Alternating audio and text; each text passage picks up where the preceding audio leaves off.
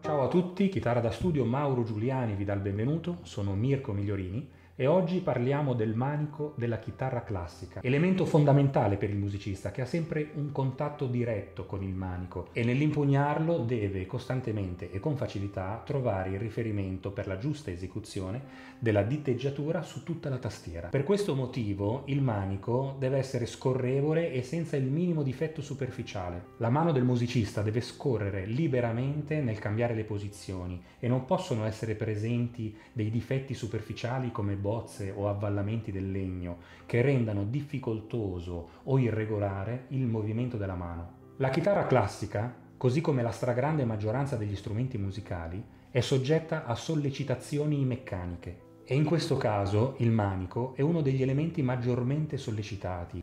Quindi, per costruirlo in modo corretto, è necessario prendere in considerazione la nozione di resistenza meccanica e concetti come elasticità o carico di rottura. Per garantire stabilità e resistenza al manico, i legni più adatti sono la cedrella e il mogano. E come tutti i legni utilizzati in liuteria, non basta scegliere il giusto legno, ma è fondamentale che abbiano anche il giusto taglio, cioè la giusta venatura, e che siano ben stagionati.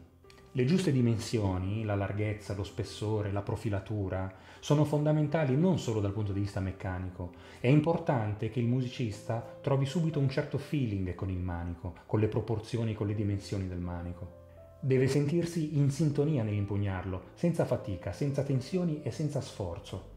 E ricordiamoci sempre di considerare la chitarra, e in questo caso il manico, non come un semplice oggetto, ma come un'estensione del musicista e quindi come una parte di voi.